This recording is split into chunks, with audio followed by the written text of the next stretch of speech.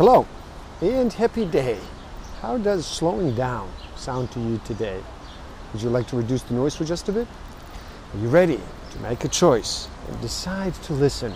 My name is Igor SF Walker, and I'm here to remind people to slow down, to reduce the noise, to walk their lives into a natural flow.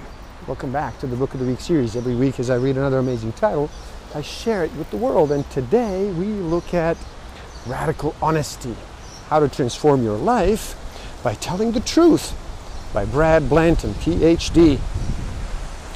We all lie like hell. It wears us out. It is the major source of all human stress. Lying kills people.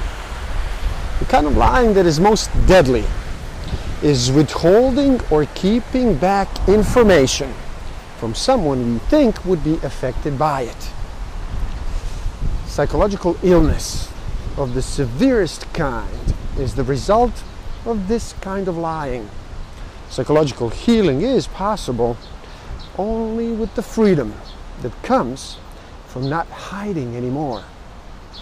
Keeping secrets and hiding from other people is a trap. Stress is not a characteristic of a life or of times, but of people. Stress does not come from the environment. It comes from the mind of the individual under stress.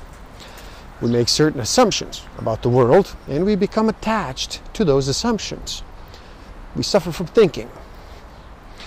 People who live according to the principles like, I hated you then and for a good reason, so I still hate you now, cannot get over things. This is reasonable, but stupid. I've seen a lot of reasonable, stupid people in my life life goes on and the truth changes. This just happens the way life is. What was once true is often no longer true just a little while later. Yesterday's truth is today's bullshit. Even yesterday's liberating insight is today's jail of stale explanation.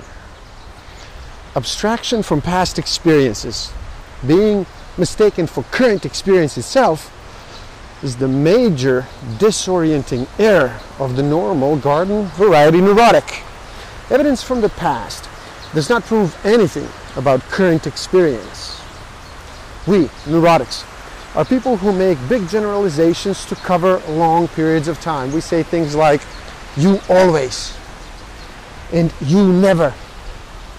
We attribute all of our power to circumstances and say things like, it makes me. When we say these things, we usually have no idea we are living in an imaginary world of our own creation. What kills us is intense attachment to our interpretations and failure to distinguish these interpretations from sensate reality. These process of learning to categorize experiences and then forgetting the distinction between categories and experience itself is what is called learning how to lie. Learning how to pretend, interpret, evaluate, and imagine is a natural process for every human being. It is fun. Most of the learning that occurs in early childhood, preschool, and then in elementary school is an elaboration of these abilities in every culture of the world as infants grow towards adulthood, this learning of pretense is going on. The long process of learning how to lie culminates in adolescence. Adolescents get lost in their imaginings about who they are. If we, humans, are to be saved from ourselves individually as well as collectively, we have to learn more about the art and science of speaking the truth. None of us can do this without a lot of help from each other. We grow up all the rest of the way surrounded and protected by this expanded sea of suggestions. And eventually, thousands of refinements later, a group of suggestions becomes who we think we are. Who we actually are, of course, remains always more than the mental images we form while growing up. First, we are the experiencer of what is momentarily present. Second, we are the multi-sensory recorder of the experience. Last, and less importantly, we are the rememberer. Later, we are most focused on remembering our own reputations. But who we always really are from the beginning is a context, a parenthesis, a being who creates the world for itself by sensing.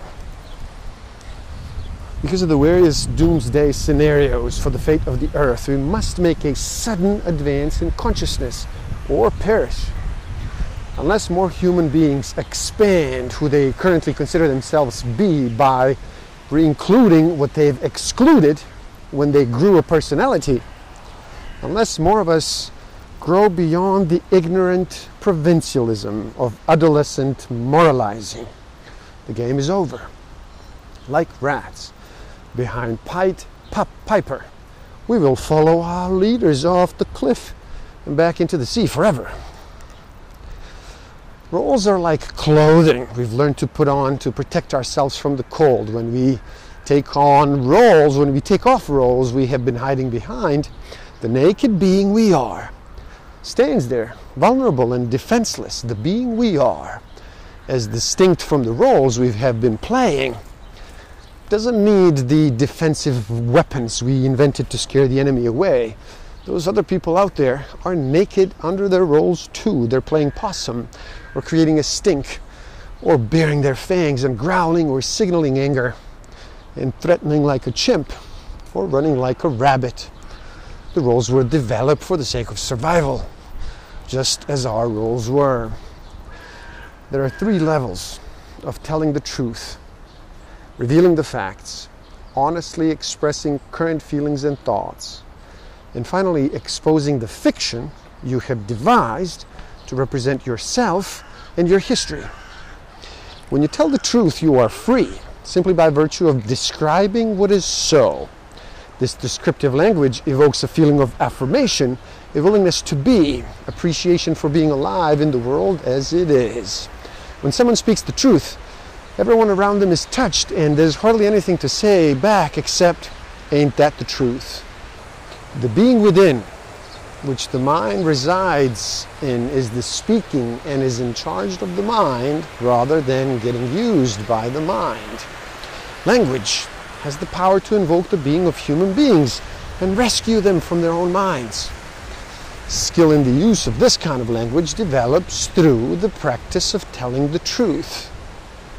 The clearer I am willing to be about myself, the more clearly I can see others, and the more clearly I can speak to them, and you too. An honest person prefers language that reveals what is so, whether it is about someone else, the world, or himself. Being fascinated when uncovering the truth from a nest of evaluation is the best game in town. When a person chooses to make the transition from habitual lying to telling the truth, the passage is scary and difficult. We have learned to assign value dishonestly and pitch our point of view with everything we say. We have been trained by scores of moralistic authorities like Nurse Ratched. In Ken Kesey's, one flew over the cuckoo's nest to keep our mouth shut and to behave as we should instead of speaking the truth. We have been blackmailed into a common interpretation of reality by hundreds of male and female nurse Ratcheds. Learning to describe, to speak what is simply true, requires an unleashing of hardened perceptions and a relearning of how to perceive with as little perception as possible. The only difference, learn the difference between perception and conception, and getting good through practice in distinguishing between the two can actually save your life. The most real truth is temporary and passing. Usually, by the time the real truth points out through words or a finger, it is gone, it is changed. This ever changing truth that is ever changing is the truth of experience. The evaluation of the experience are all bullshit. Some bullshit is useful, but nearly as useful as most of us think. Evaluations are never the truth although a person may tell the truth about his evaluation and in fact must do so if he is to own them rather than being jailed by them, we all tend to get lost in the swamp of our evaluative minds, trying to make decisions, how to behave and what to do next. while constantly considering what we imagined others might imagine about us as a result of any action we anticipate taking. This concern about controlling the opinions of others and keeping control of ourselves kills more people than any form of environmental stress. Also, most of those who would die would barely know the difference, even if they did. To the extent that we all occasionally avoid experience, we all occasionally indulge in neurotic behavior. Whether we earn the label depends on the frequency, persistence, and intensity with which we deny feelings, sensations, or any experience whatsoever. A person who refuses to acknowledge experience over and over is a neurotic. This neurosis, where they consistently deny sexuality, aggression, joy, grief, love, and other feelings. Not many people sustain real change without support in creating a context called going through what has been previously avoided or kept secret. Some people do it on their own with friends who aren't therapists. No one really does it alone. Each innocent new life comes out of that eternity of blissful timelessness in the womb and begins to learn to control, distinguish, name, and manipulate the parts of the world that get distinguished. There are as many ways to be embroiled in that process, and there has been human beings in history there are these millions and millions and billions of, of, of ways. And yet, we've all always shared a unitary hum, a sense of being, and a common history of having lived in the eternal bliss in the womb. What has also always been there is the possibility to identify with that beingness rather than identifying exclusively with the unique adaptation that the being came up with to survive in the world. We human beings are Homo hostilus, a hostile species, the enemy making animal. We're driven to fabricate an enemy as an scapegoat to bear the burden of our denied enmity. Our greatest heroism, our willingness to surrender life itself for our loved ones, and our greatest tragedy, the mistake in useless sacrifice of our own and others' lives for meaningless causes are central to the tragic joke we are. As difficult as it may be to, for our minds to accept, the direct expression of resentment works better than the suppression of anger to protect ourselves and each other from damage by anger. When we communicate our resentment, the person we resent, the anger dissipates more completely in the moment of expression. The anger may get cranked up to a higher pitch that seems reasonable in many small arguments, but the intensity of the experience allows the heat out where it can cool. People can get over being mad if they face resentment one instance at a time. Even if the person towards whom we are angry doesn't change, agree to change, or even apologize, we can still forgive that person for our own benefit. So, this is what happens with anger. As children grow, constantly overpowered, cared for, and controlled, childhood expression of anger against stronger adults are punished, either overly or covertly, or worse, condescendingly moralized about. As children, we do the best we can to copy approved ways of dealing with anger to avoid getting punished for it. Most people, however, will not express their resentment in person to the person at whom they are angry. Instead, they gossip, they complain, they criticize, they fantasize about telling the parents off and letting it out in other indirect ways. Suppression and displacement to ideals, indignation, and judgment against others and ourselves usually work well enough that by the time we males reach 18 years of age and some elder asshole tells us to kill some people to defend some bullshit principle, we run right out and do it. Most of us don't know how to identify clearly what anger feels inside our bodies. We attend to our many racing thoughts, focusing on the rightness or wrongness of the conversation we just had, instead of turning in to our experience in the moment. We ignore our racing heart and then the flush of blood in our face, and the tension building in our soul, shoulders, and the tightness of our stomachs, when we do acknowledge these feelings, we do so only at an abstract level that subsumes too much experience.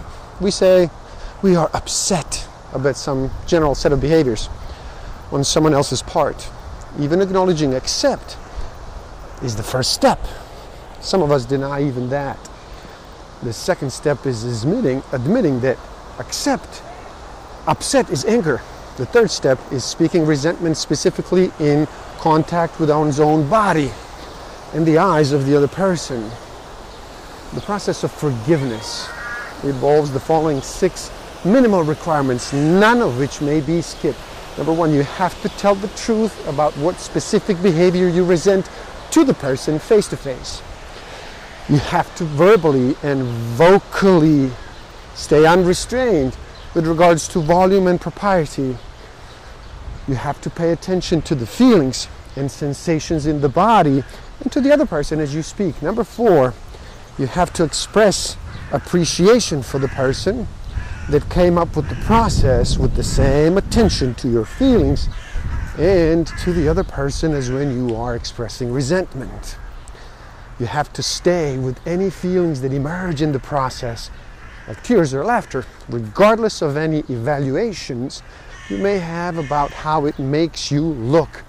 And number six, you have to stay with the discussion until you no longer feel resentful of the other person. Then, and only then, are you ready to talk about the future, make arrangements on the future, or make any agreements? The full path of growth from birth to maturity consists of number one, the birth of being, number two, the growth of the mind, number three, a period of domination of the being by the mind, number four, liberation of the being from the mind, and finally, number five, a mind used by the being. Having told the truth enough, the being becomes liberated from its own mind. Please do help out. It is easy. Simply like this video so more people can enjoy it. Share it too and spread the word. Subscribe to my channel. Stay up to date. And the link to this book is in the description below. So you buy it and you read and you never stop learning. Just tell the truth. Thank you. Love and respect.